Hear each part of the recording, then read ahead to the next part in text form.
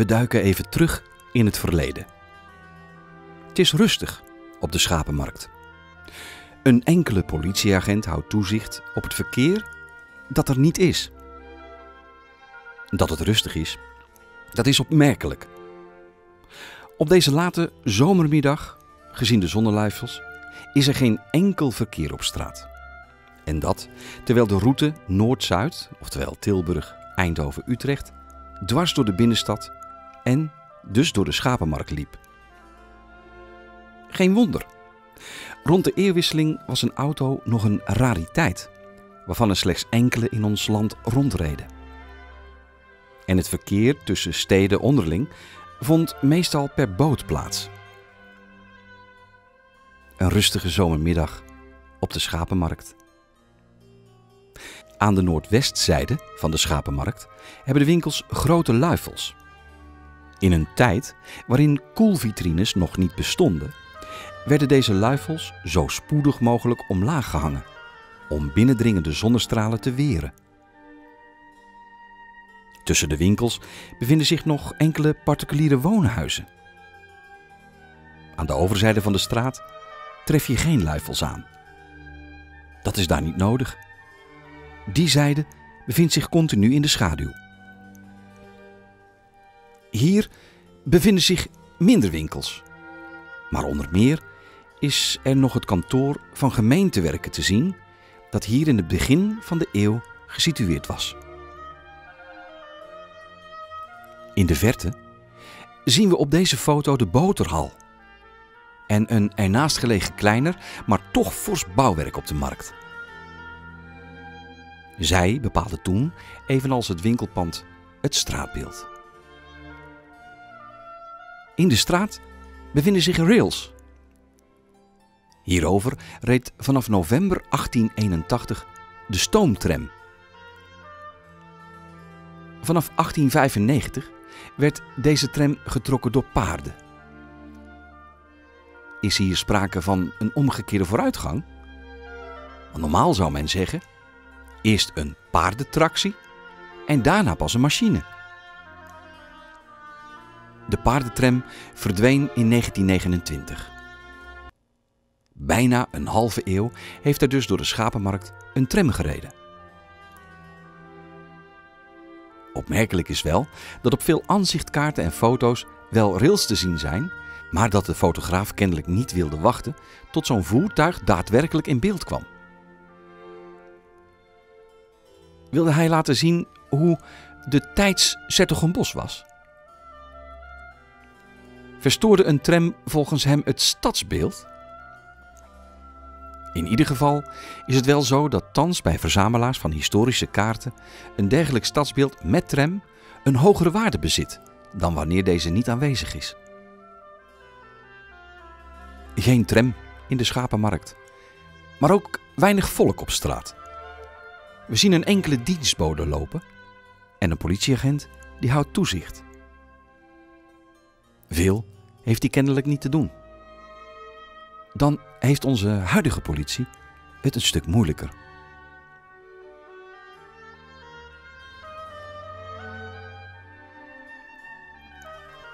De oude benaming van de schapenmarkt van deze straat was de Zadeleerstraat, welke naam later veranderde in die van Zadelstraat. Denkelijk kreeg zij diens naam naar de zadelmakers, welke men in grote getalen in Den Bosch had wonen in die tijd. In die straat woonden merendeels zadelmakers. Nog in 1754 heette deze straat de Zadelstraat.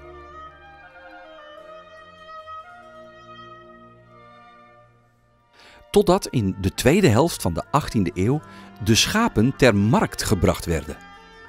Waarna zij de straatnaam Zadelstraat omdoopte tot Schapenmarkt.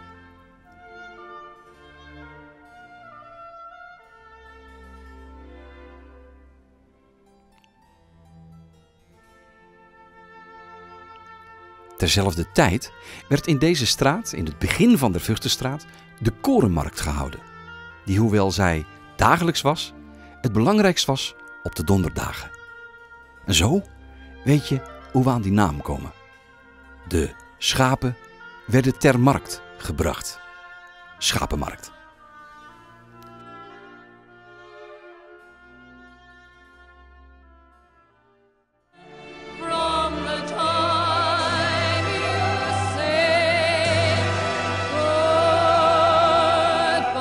Als je aan het dwalen bent eh, door Den Bosch, dan is het eh, natuurlijk eh, een absolute pre om naar de plek te gaan waar ik nou ben. Ik zie het hier op, eh, op de Zuidwal. Ik was net eventjes aan het lezen, een stukje over het Groene Woud en, eh, en over de toegankelijkheid en de wandelroutes die zich hier eh, bevinden. Maar belangrijk is dat, ik, dat ik hier, we aan deze kant, bast, eh, bastionder, bastionder heb. Ooit was dit een hele belangrijke plek. Hè? Het hoorde bij de vestingwerken van Zettergenbos.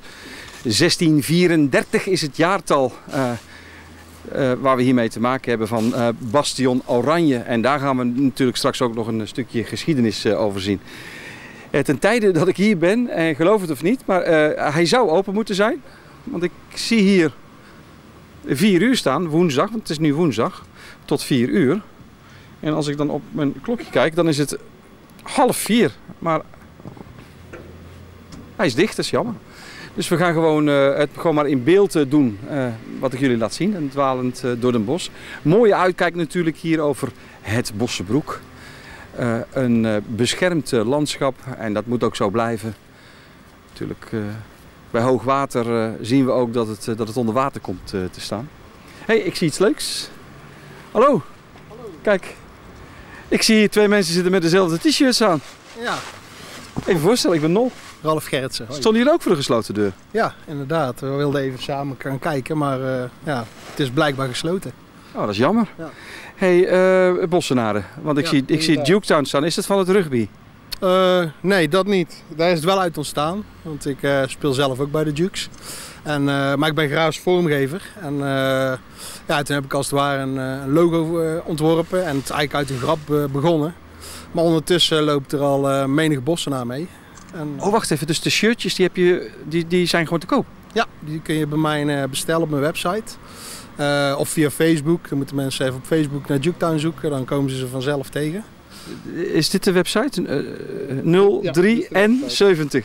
0, het, gest- eh, 3 en 70. Leuk. Ja. We hebben toch iets gemeen, hè? Een eh, 73, 73.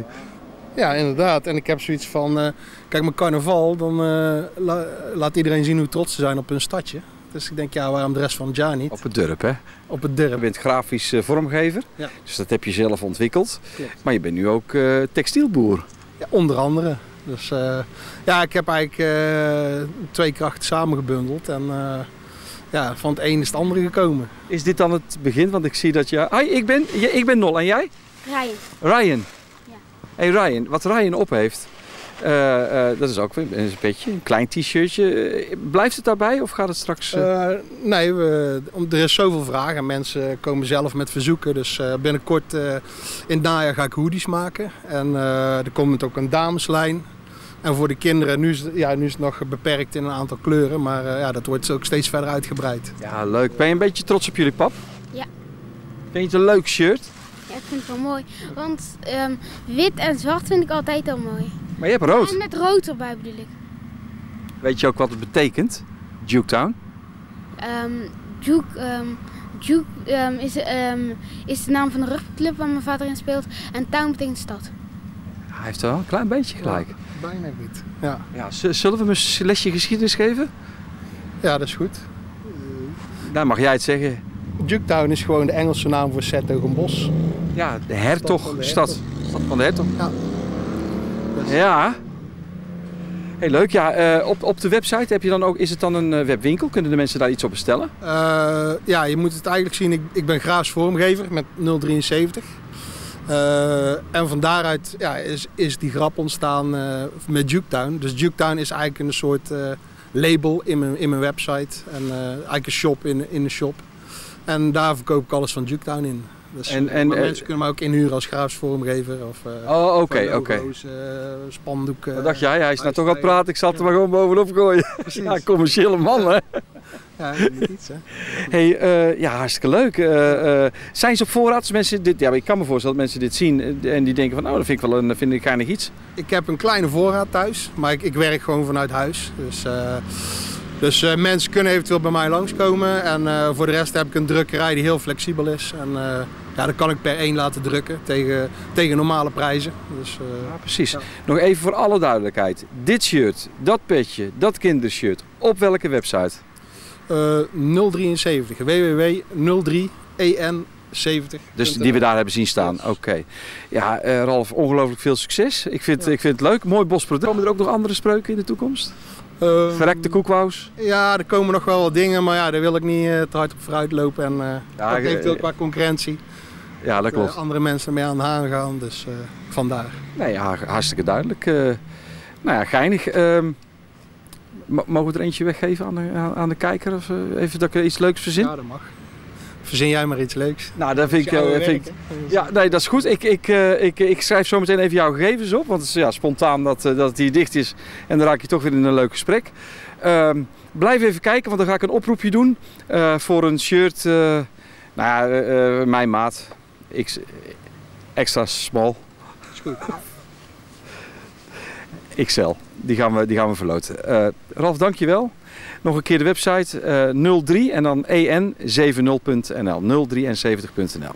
Nou, ik heb voor jullie een eh, mooi grijs t-shirt los weten te peuteren met de opdruk eh Duketown. En dat loop je natuurlijk trots met een merk uit Bos op je borst rond. Eh, ik heb daarvoor een vraag en als je blijft kijken dan zal het ook wel voorbij komen het antwoord in het geschiedenisfilmpje dat hierna komt. In welk jaar werd de stad Zettergombos ingenomen door de staatse troepen van prins Hendrik. In welk jaar was dat? Stuur je antwoord naar info.tv73.tv. Ik heb maar één t-shirt, dus we gaan echt in de grabbelton. En wie weet eh, loop jij binnenkort eh, in een t-shirtje maat XL. Dus als het een, een mooi eh, klein dametje dan heb je een, ja- een nachtjurk. Eh, de vraag nogmaals, in welk jaar werd de stad Zettergombos ingenomen door de staatse troepen van prins Hendrik? En nu gaan we even kijken naar de geschiedenis. En misschien komt die daar wel in voor.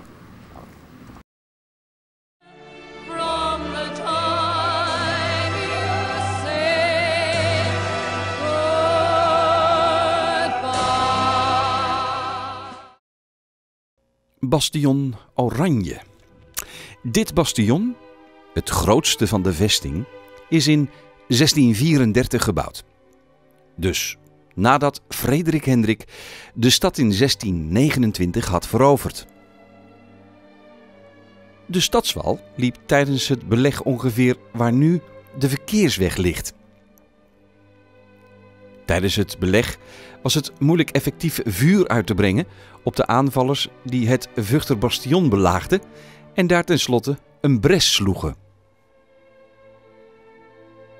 Om te voorkomen dat zoiets zich ooit nog eens zou herhalen, is dit mooie bastion gebouwd.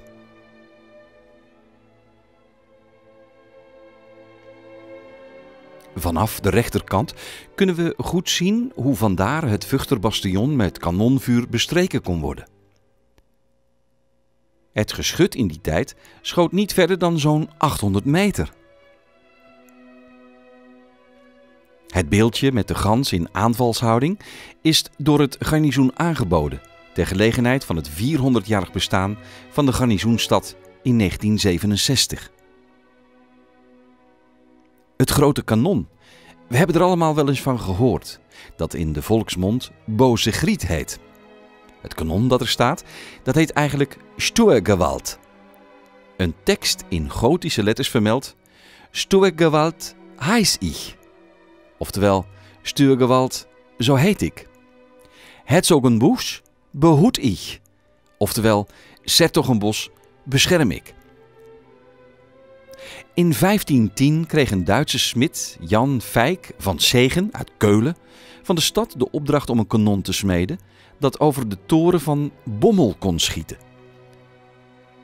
De Gelderse, onder Maarten van Rossum uit Bommelenwaard, bedreigde toen onze stad Sertogenbos. Bij het proefschieten kwam echter de kogels er in stukken en brokken uit en het stadsbestuur weigerde te betalen. De smid begon een proces dat in 1532 eindigde met een betaling van 250 carolenschuldens door het stadsbestuur. Later heeft men er een stuk afgehaald om als klokgewicht op het stadhuis te dienen. In de vorige eeuw hebben de geschutmakers van de artillerie van het garnizoen de stukken weer aan elkaar gesmeed.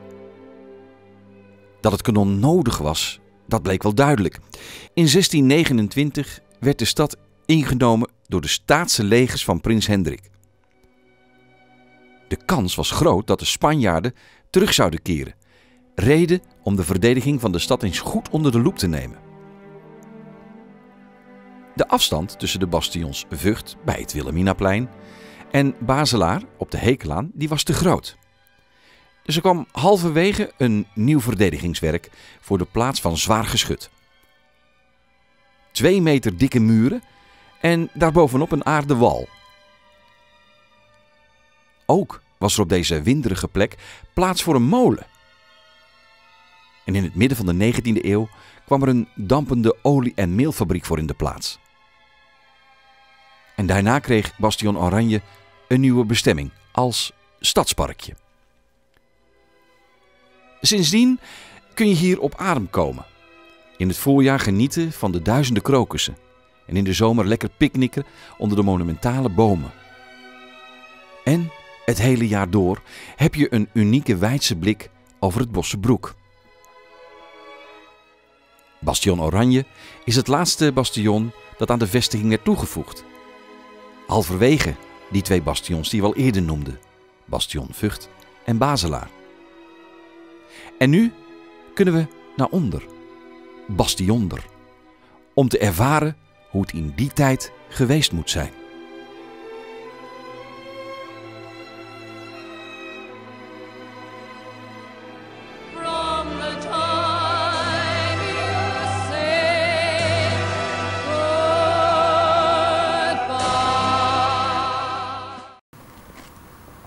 Welkom bij Dwalend door Den Bosch. Ja, ik sta er steeds weer versteld van dat ik eigenlijk op plekjes kom met dwalen waar ik vroeger als kind toch heel veel eh, speelde. We hebben daar de Lamboybrug.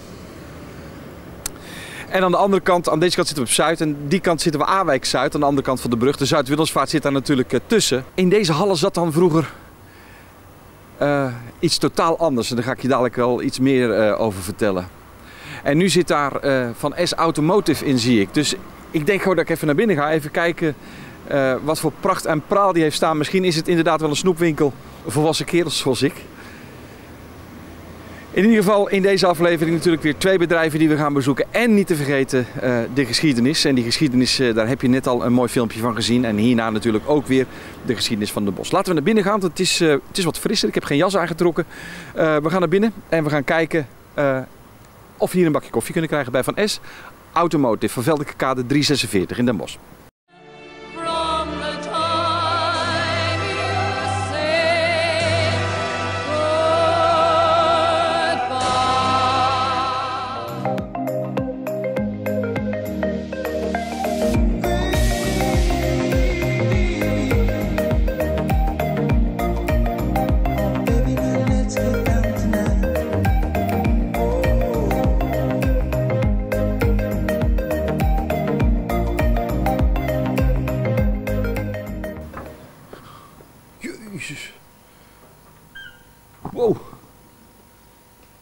Ik niet verwacht. Zo'n eh, geweldige showroom zeg.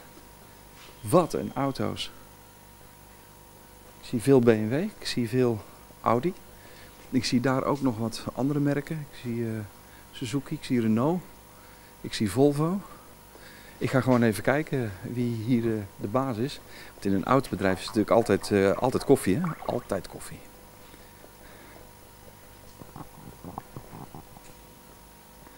Het, leuke is dat ik hier vroeger als kind eh, nog heb, eh, heb gespeeld. Mocht niet, want dan kreeg ik op mijn sodemieter van de beheerder in deze hallen, op de Verveldeke kaart waar ik nou ben, ehm, daar zat vroeger eh, mensen in nood. En dan lag het helemaal opgestapeld, vol met kleding. En dan ging ik op die stangen die we hier boven zien, ging ik dan opklimmen en, en met mijn vriendje gingen we dan vanuit die stangen zo boel in de kleding duiken. Want die deuren stonden voor altijd open, die grote houten deuren. Maar eh, als we ons betrapten, oeh, we het link. We gaan eventjes eh, kijken, ik zie iemand zitten. Hallo, Goedemorgen. ik, ik ben aan het eh, dwalen Ja, en ik heb zin in koffie. dat kan. Die heb ik. Hoi, ik ben Nol. Hi, Andrew van Es. Aangenaam. Eh, Andrew, ja, ja de, kijk, de camera komt stiekem nu om de hoek kijken, dus Ja. hij, hij, hij loopt al. Dus ik hoop niet dat ik jou... nee, natuurlijk niet. Nee. Ehm, ik, ik kwam langs en ik zag Ja. hier een prachtig mooi logo op de raam staan. En ik dacht, ik wil even van jou weten wat jij precies doet. Oké. Maar ik met, met de koffie doe ik altijd even overleggen. Altijd goed beginnen. Nou, dan doen we eerst koffie en dan gaan we daarna eventjes jou aan de tand voelen. Doen we. Leuk, dankjewel.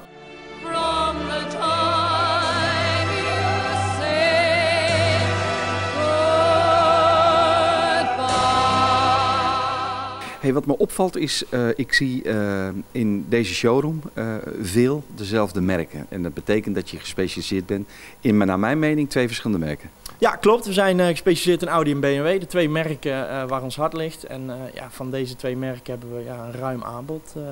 altijd, ja. Nou, betekent het ook dat mensen die hier komen vreemde merken mogen inruilen? Ja, absoluut. Ehm, we ruilen alle merken in. We hebben ook regelmatig andere merken hier in de showroom. Ehm, maakt, ja, dat maakt in principe niet, eh, niet veel uit. Ehm, auto's moeten bij ons wel net dat beetje extra hebben. Dus bij ons vind je niet de standaard uitvoering, maar ja, de auto's met, met, met ja, gewoon de betere uitrusting, met een panoramadak, met een navigatiesysteem, dat soort auto's. Ja. Iets dikkere motor? Ja, iets dikkere motor. Ja, dat vinden we ook, niet, eh, dat vinden we ook wel leuk. Maar hoeft, hoeft ook niet. Het kan ook met een kleine motor zijn, maar toch wel een heel, met een heel mooi uitrustingspakket, waardoor er wel een hele mooie auto staat. Ja, zo onderscheid jij eh, van, van je con-collega's. 2014 ben je hier gestart. Ja, klopt. Eh 1 oktober, ehm, ja, 1 oktober ben, zijn, zijn we open gegaan hier in, eh, in dit pand.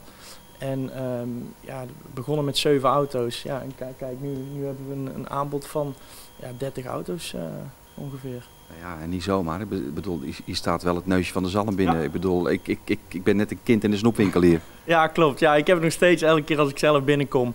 Ja, het, het voelt inderdaad als een, eh, als een snoepwinkel. Ja. Andrew, toen, toen ik daarnet bij jou een bakje koffie dronk, heb ik ook tegen je gezegd dat ik niet het gevoel krijg, en daar wil ik echt niemand tekort om doen, dat ik bij een, een autohandelaar ben. Ik heb dit, dit, dit, jij staat op hetzelfde level, vind ik, als een dealer. Nou ja, dankjewel voor het compliment. Dat is ook ja, wat, wat ik wil uitstralen. Ehm, ja, eh, Doe, doe je dat bijvoorbeeld ook in het afleveren van auto's? Hoe werkt dat? Heb, heb je daar een samenwerkingsverband? ja, nee, het, is niet zo de auto's die staan dat we die ja, verkopen en daarna is het nou tot ziens, eh, tot nooit meer eigenlijk. Eh, auto's die binnenkomen, die worden ook grondig geïnspecteerd, zodat we weten, de auto's die binnen staan, dat die ook gewoon, eh, ja, dat- die de kwaliteit hebben die we ook eh, willen verkopen, waar we achter staan. Nou, en als, als we een auto verkopen, dan kunnen klanten kiezen uit verschillende afleverpakketten eh, met verschillende garanties. En ehm, ja, mocht er daarna iets zijn, eh, onverhoopt, ja, dan regelen we dat. De auto's zijn allemaal gecontroleerd op de juiste kilometerstand en, en, en alles wat daarbij hoort? Ja, de kilometerstand is, eh, is gewoon altijd gegarandeerd eh, bij ons. Dat checken we natuurlijk ook als we auto's innemen. En ehm, ja, het kan niet zo zijn dat hier een auto binnen staat met, met de verkeerde kilometerstand. Tot slot, Andrew, stel ik wil een bepaald type auto hebben die ik in Nederland of waar dan ook niet kan vinden. Kan ik jou dan ook een zoekopdracht geven? Ja, dat kan zeker. Eh, dat doen we ook vaker. Ehm, nou, we beperken ons niet, echt, ja, niet alleen tot Nederland. En ja, als je als klant specifieke wensen hebt ehm, en net even net dat, ja, dat, extra zoekt in een auto, ja, dan, gaan wij, dan gaan wij kijken door heel Europa. En, eh, en vaak vinden we de auto die, eh, die aan de wensen voldoet. Nou, mensen die kunnen hier naartoe komen. Verveldelijke kade, welk nummer? Eh 346. Nou, het ligt eh, prachtig langs de Zuid-Willemsvaart. Eh, we zien de, de, de Lamboybrug. Zit vak eh, aan de snelweg voor de mensen die buiten Den bos komen. De koffie staat neem ik altijd, eh, altijd klaar, niet alleen voor ons. Nee, die staat altijd klaar voor iedereen. Absoluut. Iedereen is van harte welkom. Nou, dankjewel en, eh, en heel veel succes. Want ik bedoel, vanaf 2014 van zeven auto's naar een bedrijf dat je hier neer hebt gezet, dat verdient eh, een compliment. Dankjewel.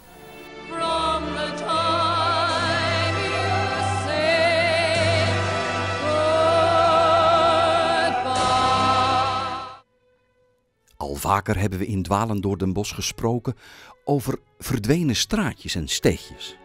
En ook in deze uitzending gaan we er een paar met elkaar doornemen. Als je vanaf de parade de Kerkstraat inloopt, is de eerste straat aan de linkerkant de Korte Putstraat. Schuin tegenover deze straat is een steegje met de naam Achter den Engelse Pispot.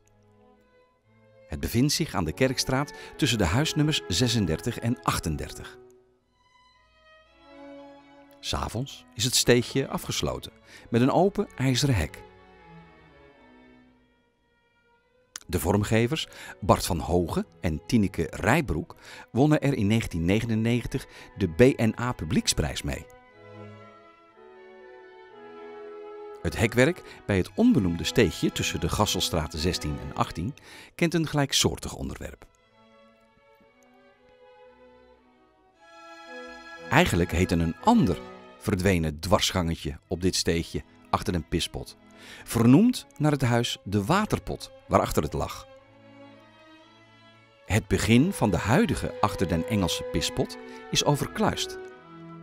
Daarnaast heeft het vijf steunbogen. De ruimte tussen die twee st- laatste steunbogen is opgevuld met een vloer. Tussen 1629 en 1811 was het gangske een vluchtweg van een oude schuilkerk die er stond. De schuilkerk was toegewijd aan de heilige Anna, moeder van Maria. Tot in het begin van de 20e eeuw stond het in verbinding met het niet meer bestaande steegje achter de gevulde ploeg. Tegenwoordig loopt het dood. Op een binnenplaatsje. En is het de enige toegang tot een moderne stadsvilla. In de loop der eeuwen heeft het steegje verschillende andere namen gehad. Onder andere achter de tromp, het trompengangske, achter de Gouden Rijder, Anthony van Hintumstraatje, Wassenbergstraatje en tenslotte de helder klinkende naam waaronder het nu bekend staat.